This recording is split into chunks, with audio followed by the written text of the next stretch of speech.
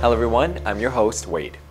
Thanks to Christopher Nolan's recent movie, Oppenheimer, the father of the atomic bomb has once again become a part of the public imagination. The movie portrays J. Robert Oppenheimer as a man marked by his brilliant mind, complex personal life, strong political views, and groundbreaking professional achievements. In this video, we'll get a chance to better understand the life of Oppenheimer and see why he is now considered one of the most controversial figures of the 20th century. Oppenheimer was born on April 22, 1904 in New York City. Raised in a wealthy family, young Oppenheimer displayed extraordinary intellectual abilities from an early age. After graduating from Harvard University with honors, he continued his studies at the University of Cambridge, where he developed a lasting passion for theoretical physics. Despite his academic prowess, Oppenheimer didn't fit in with the students and staff at Cambridge, and once even tried to poison his tutor by leaving an apple with noxious chemicals on his desk. Even though Oppenheimer's parents convinced the administration not to press charges, he left Cambridge to study with Max Born at the University of Göttingen, and at the age of 23, got his PhD. Throughout his life, Oppenheimer was vocal about his political beliefs. He advocated for social justice, civil liberties, and strongly opposed the rise of fascism in Europe. In the 1930s, he became involved in left-wing political circles with his future wife, Katherine Puening, which led to scrutiny during the 1950s Red Scare.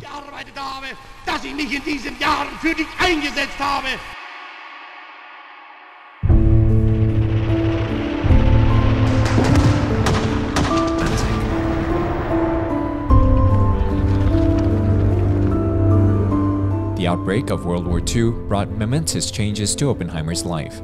As the world grapples with the horror of war, the United States initiated the top-secret Manhattan Project, aiming to build the first atomic bomb. Oppenheimer's brilliance caught the attention of government officials, and he was appointed as the scientific director of the project.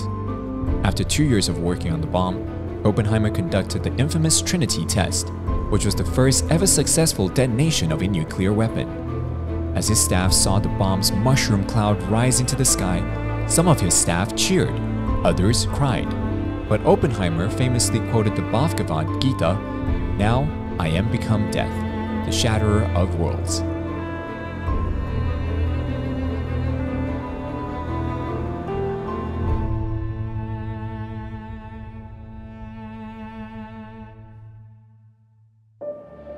The end of World War II marked a turning point in Oppenheimer's life. While hailed as a national hero for his contribution to the war effort, he became increasingly concerned about the potential consequences of atomic weaponry.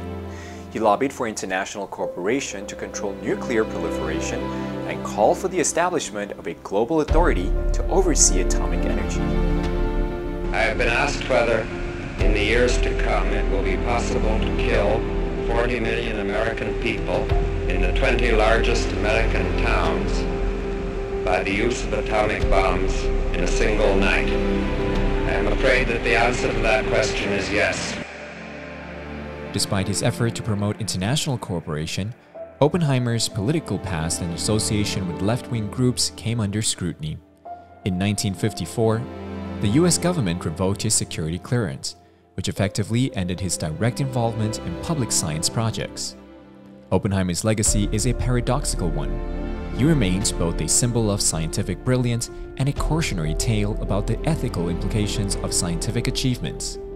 Despite facing personal and political challenges, he continued his work in academia and scientific research, contributing to the field of theoretical physics and astrophysics until his death in 1967. J. Robert Oppenheimer's achievement in science and his passionate advocacy for peaceful use of atomic energy have left an indelible mark on history. As we look back on Oppenheimer's life, we can better understand the importance of having a strong moral compass guide the pursuit of knowledge.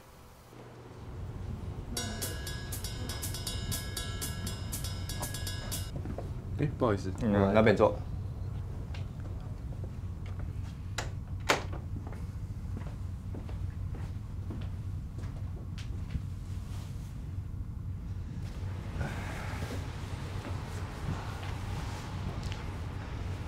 啊，这是你的麦克风。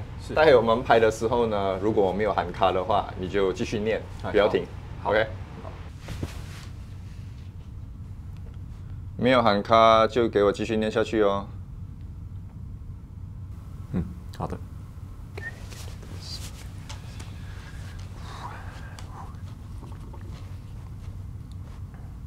Hello, I'm Wade Lee. Thank you for joining us on Fun Day News. It is December 13th, and here are your top stories.